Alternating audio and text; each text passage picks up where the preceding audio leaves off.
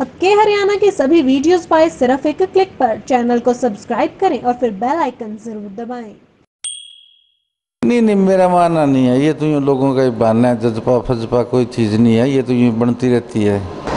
नमस्कार के हरियाणा पे आप सभी दर्शकों का स्वागत है। मैं हूँ आपके साथ रमेश जाखड़। चलिए, इस वक्त मेरे साथ रवि चौटाला जी, जो कि इंडियन नेशनल लोकदल पार्टी के वरिष्ठ नेताओं में से एक हैं और उनसे जानते हैं क्योंकि आने वाले समय में विधानसभा चुनाव नज़दीक है और लोकसभा चुनाव अभी अभी हुए ही हैं। भारतीय जनता पार्टी को बहुत भारी भरकम मतों से जीत यहाँ से मिली है। हालाँकि जो इलाका जो है, अगर सिरसा की बात करूँ तो इंडियन नेशनल लोकदल का गृह क्षेत्र है और इंडियन नेशनल लोकदल का सिक्का चला करता था, लेकिन भारतीय जनता पार्टी को जो विजय मिली है, उस पर क्या कुछ कहते हैं और आने वाले विधानसभा चुनाव में उनकी किस तरह से क्या कुछ प्लानिंग रहेगी, जानते हैं। रवि जी, सबसे पहले तो मैं ये जानना चाहूँगा कि सिरसा, जो कि इंडियन नेशनल लोकदल का गृह क्षेत्र है, चौधरी देवीलाल जननायक जिनको बोला जाता है, उनकी जन्मस्थली सिरसा है। चौधरी ओम प्रकाश चौटाला जी की जन्मस्थली सिरसा है। क्या कारण रहे कि इंडियन नेशनल लोकदल मात्र नब्बे से बानवे हज़ार वोटों में सिमट गई? देखिए, आपने सवाल बड़ा अच्छा पूछा मैं इसका जवाब दे दूँ। ये जो इलेक्शन था ना, ये मोदी वर्सेस राहुल जी का इलेक्शन हो गया। जिसमें मोदी साहब को लोगों ने वोट देने थे, उसके बाद में लोगों ने क्षेत्रीय दलों को ये समझा कि इनकी केंद्र में भूमिका नहीं होती है। तो लोगों ने फिर वो डायरेक्ट उधर रास्ता कर लिया। भी हमने दो उनको पीएम के कैंडिडेट नज़र आए। एक मोदी साहब, एक राहुल गांधी। तो उन्होंने राहुल गांधी को सज़ा दे दी, साथ में हम भी इस लपेटे में आ गए, हमारी पार्टियाँ भी आ गई। सज़ा तो उनको मिलनी चाहिए तो साथ में भूत होगी हम भी हो गए। ये बहुत बड़ी गलतफहमी में वो इलेक्शन अलग था, ये जो स्टेट का इलेक्शन है वो अलग होगा। रही बात आपने गढ़ का है। ये गढ़ कब होते थे? ये राजा महाराजाओं के टाइम के गढ़ होते थे, अब प्रजातांत्रिक तरीके का गढ़ है।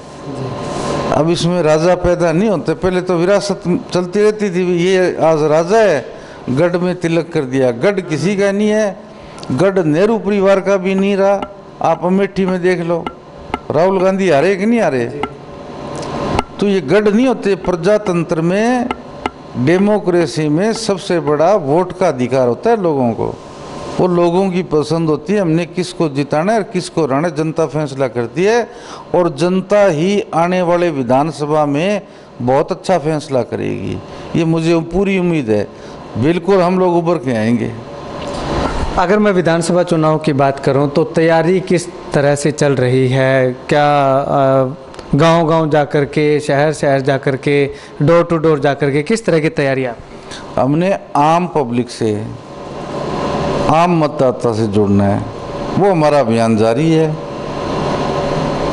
पब्लिक से जाएँगे, पब्लिक के पास जाएँगे और पब्लिक हमें बुला भी रही है। तो बिल्कुल जो पार्टी का प्रोग्राम है या निजी तौर पर हमारे जो संपर्क है, वो हमारे जारी है। और जल्दी इसकी घोषणा हो जाएगी। सभी लोग अब आएँगे लोगों के पास। हम तो पहले ही मिलने जुलने वाले लोगों में से थे कभी घर बैठने वाले लोगों में नहीं थे।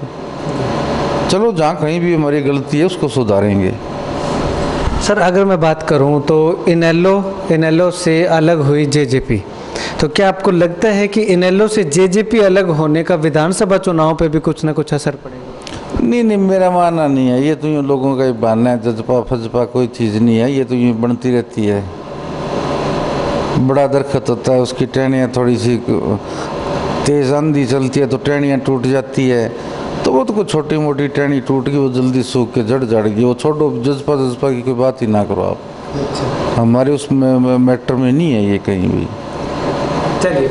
डबवाली की अगर मैं बात करूँ डबवाली विधानसभा की तो इस बार जो प्रत्याशी वो परिवार से होगा या कोई बाहरी होगा क्या कुछ? क्योंकि एक चर्चा चल रही है कि परिवार से नहीं देखिए मैं आई का बता सकता हूँ। मुझे दूसरी पार्टियों का कोई पता नहीं कौन क्या लड़ रहा है कि नहीं लड़ रहा है। आई का सर मैं पूछ रहा हूँ? आई अगर पार्टी का फैसला अगर वो मेरे पे विश्वास करे या किसी और पे विश्वास वो पार्टी ने फैसला करना होता है। पार्टी जो फैसला लेगी ठीक ही लेगी अच्छा ही लेगी। हाईकमांड लेगा फैसला। अब मेरे हाथ में तो है नहीं फैसला लेना। तो अच्छा ही फैसला लेंगे वो। सर एक अनुमान हम पूछ रहे हैं कि क्या सुनैना चौटाला जी जो कि अभी अभी उनको एक बहुत बड़ी ज़िम्मेदारी भी दी है पार्टी ने। क्या वो भी चुनाव लड़ सकती हैं या चुनाव लड़ेंगी इच्छुक हैं? आप क्या पार्टी ने उनको एक महिला विंग में जिम्मेवारी दी है। अगर पार्टी ने कुछ जिम्मेवारी देनी है तो विधानसभा की दे भी सकती है। पार्टी ने वो तो पार्टी ने करना है ना फैसला। तो पार्टी फैसला अगर करती है ठीक है लड़ लेगी उसमें क्या है? अब फैसला लेना या नहीं लेना टिकट देनी या नहीं देनी वो तो पार्टी का फैसला होगा। ये हमारा कोई व्यक्तिगत या निजी फैसला नहीं होगा। आ, सर एक चर्चा और चल रही है कि इस बार बीजेपी सरकार के खिलाफ एक महागठबंधन किया जाएगा। जो बाकी जो क्षेत्रीय दल हैं, वो सारे इकट्ठा होकर के बीजेपी के खिलाफ चुनाव लड़ेंगे। तो इनेलो का भी भूपेंद्र सिंह हुड्डा जी के साथ चर्चा चल रही है कि संबंध बताए जा रहे हैं कि मिलने वाले हैं, हो सकता है गठबंधन हो जाए, वो इधर आ जाए। तो क्या कहें?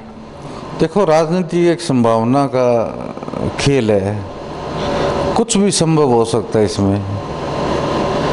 जब बीएसपी और समाजवादी पार्टी इकट्ठी हो सकती है जो कभी एक दूसरे के किसी को देखना तक पसंद नहीं करते थे, वो एक स्टेज पे आ गए ना।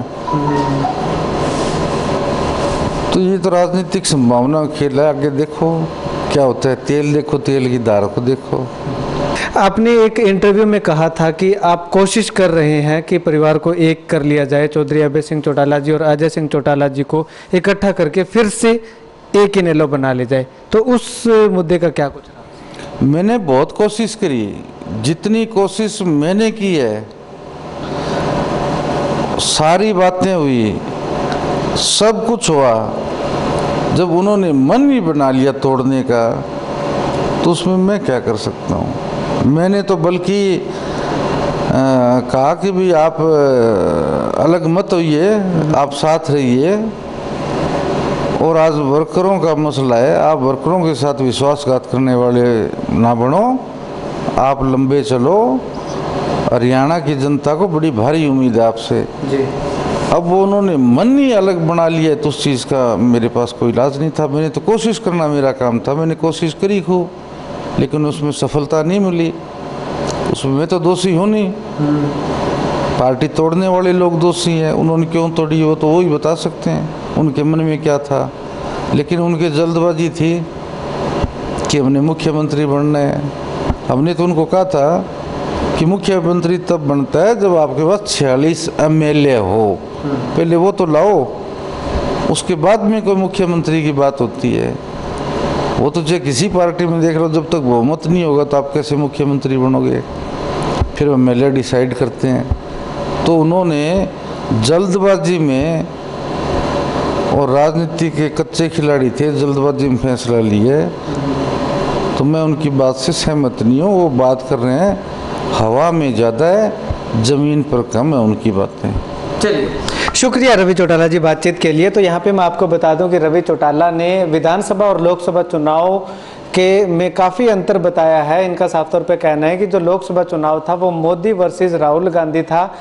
और उसमें राहुल गांधी को लोगों ने सबक सिखाने का फैसला लिया था और उसमें साथ के साथ जो क्षेत्रीय पार्टियाँ थी, वो भी पीसी गई। लेकिन आने वाले विधानसभा चुनाव में ऐसा बिल्कुल नहीं होगा और आने वाले विधानसभा चुनाव में इंडियन नेशनल लोकदल पार्टी के साथ लोग हैं और आने वाले चुनाव में लोग उनके साथ हैं, ऐसा इनका कहना है। और आने वाले समय में इनका ये भी कहना है कि जो विधानसभा चुनाव होंगे, उसमें इंडियन नेशनल लोकदल पार्टी भारी बहुमत से विजय हासिल करेगी और अपनी सरकार बनाएगी। अगर मैं डबवाली विधानसभा क्षेत्र की बात करूँ तो रवि चौटाला का साफ़ तौर पे कहना है कि चुनाव इलेक्शन लड़ने को लेकर के जो भी पार्टी तय करेगी, पार्टी का जो नेतृत्व है, वो शीर्ष नेतृत्व वो तय करेगा, उन, उसी के अनुसार कार्य किया जाएगा। अगर वो रवि चौटाला को यहाँ से चुनावी मैदान में उतारती हैं तो या फिर अगर सुनैना चौटाला को चुनावी मैदान में उतारती हैं तो अगर इसके अलावा किसी बाहरी कैंडिडेट को भी अगर डवाली से चुनावी मैदान में उतारती हैं तो ये पूरे तन, मन, धन से उस कैंडिडेट का समर्थन करेंगे और डबवाली से इंडियन नेशनल लोकदल पार्टी का विधायक बना करके भेजेंगे। खैर, आने वाला वक्त बताएगा कि आखिर पार्टियाँ कौन कौन सी पार्टियाँ किस किस कैंडिडेट को यहाँ से उतारती हैं, लेकिन आने वाले विधानसभा चुनाव के लिए इंडियन नेशनल लोकदल पार्टी की ओर से रवि चौटाला ने अपनी कमर कसनी शुरू कर दी है। कैमरा सहयोगी मुकेश बेनीवाल के साथ रमेश जाखड़ के हरियाणा।